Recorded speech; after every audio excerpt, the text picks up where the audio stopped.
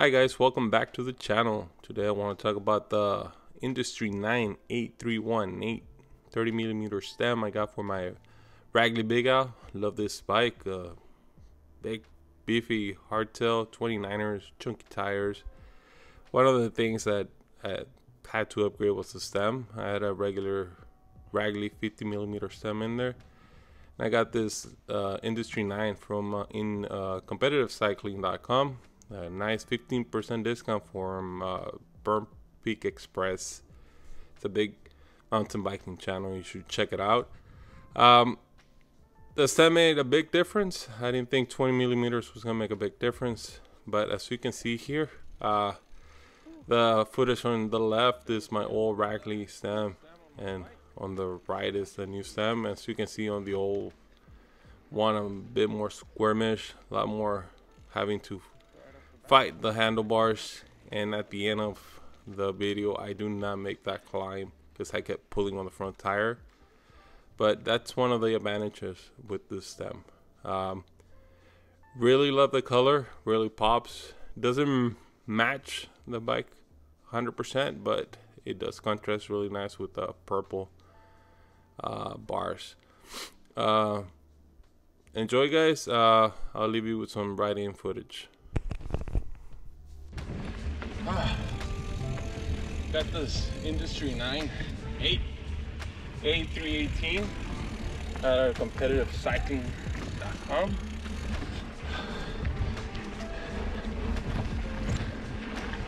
This bike came with a in-house Ragley stem. Nothing wrong with it. Just a bit too long for my taste. It was a 50 millimeter with a slight rise to it. So this 318 is a 30 millimeter, 30 millimeter.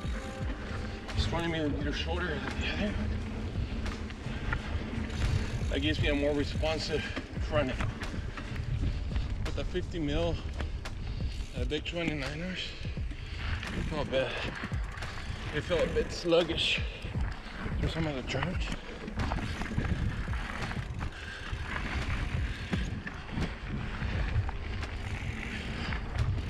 I did sacrifice some of the reach, but I'm fine with it.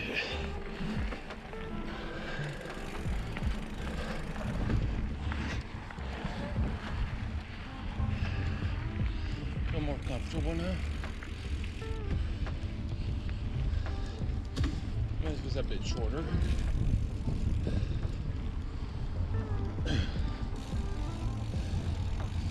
feel like so responsive now. It seems like 20 millimeters not a big deal, but before I feel like I was turning a big old 18 wheeler with that 50 millimeter stem and the white bars.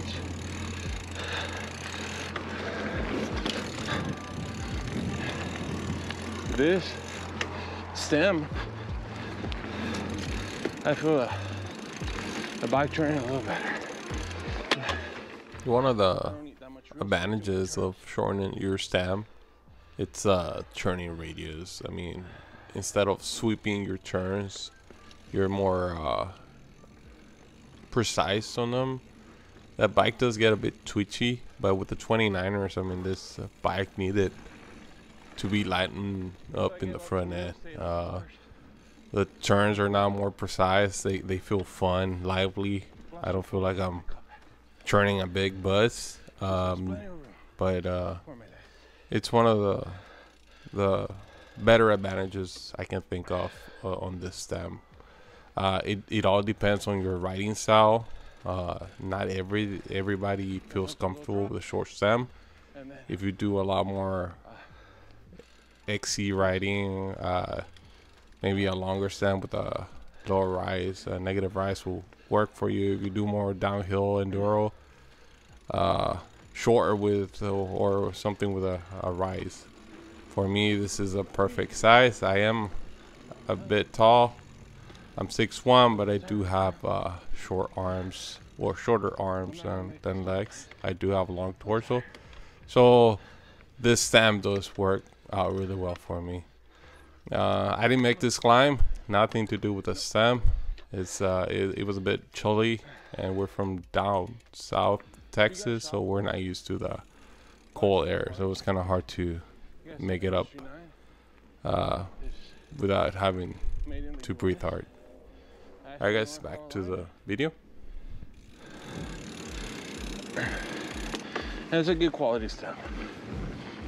I mean, it's uh, I don't want to say pricey, but this one is mid-range. Uh, the quality far surpasses some of the other brands that could be maybe twice as expensive. They have a wide, wide array of colors for you to choose from. Different sizes. They start at 20 millimeters and 30, 40, 50, 60. And this is the 31.8 clamp size.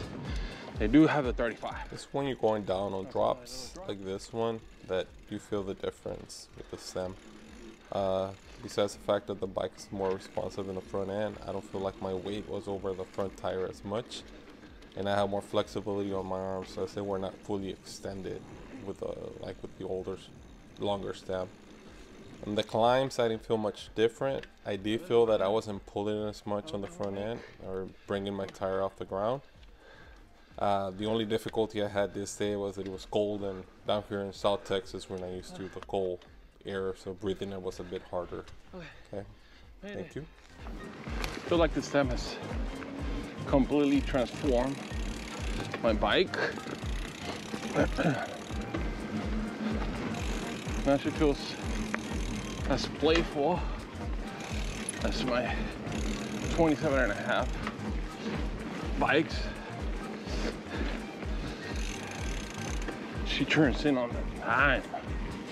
I mean, everybody has different preferences.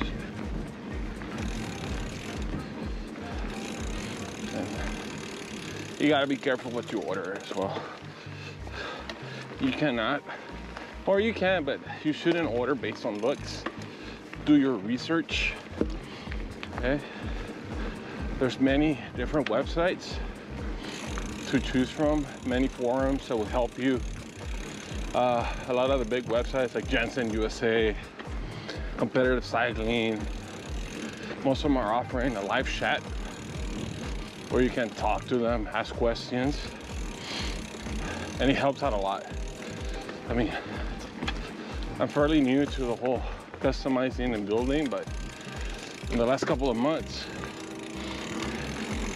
well, this past year, I learned so much. I mean, before I didn't even know how to determine or the length and rise of a sand will make a big difference. Once you're getting that understanding and knowledge, you get to tune your bike to you. You make it your own. Tailor fit your bike to you. And it makes a difference. I mean, I'm just lucky. It's a very good looking stem. Uh, the Big House, most definitely one of my favorite, favorite or favorite Ragley that I have. She's a cruiser and a bruiser. I can chill mode on this. I can rip on it. Granted, I'm not the best at ripping on it.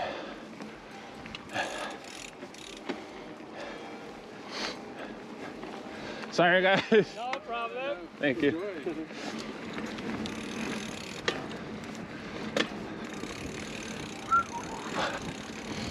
So nice to see people on the trails.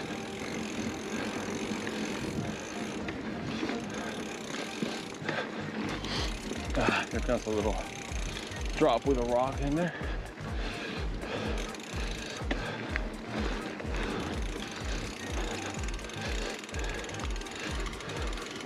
Oh yeah.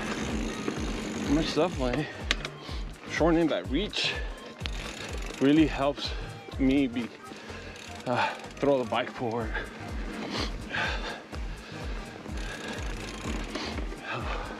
I have more room on my arms. As with as before, with a 50 millimeter, my arms would be extended at max when I was pulling a drop like that.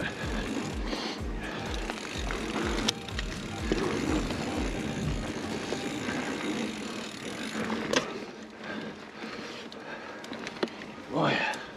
All right, let's go check it out.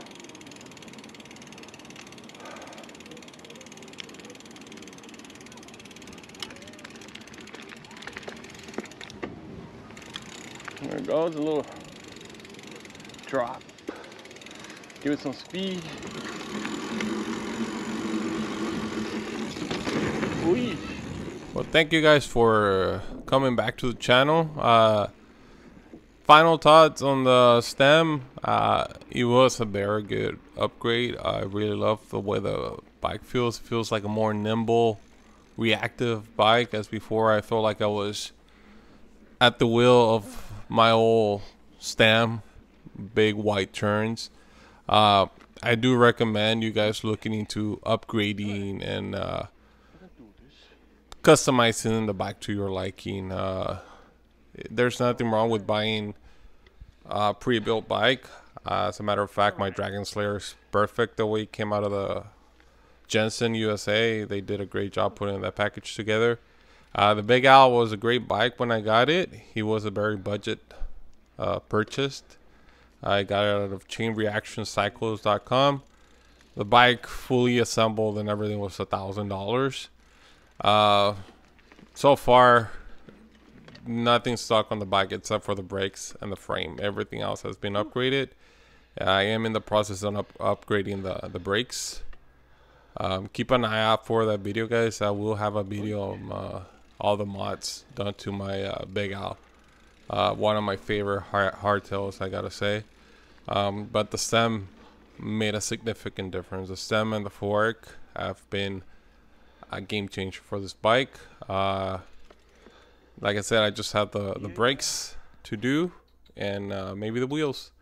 Uh, thank you guys for coming back. Uh, please leave a like, and if you like what you watch, I'll try to get better. Uh, subscribe to the channel, guys.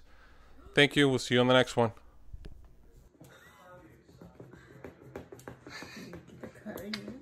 Voilà.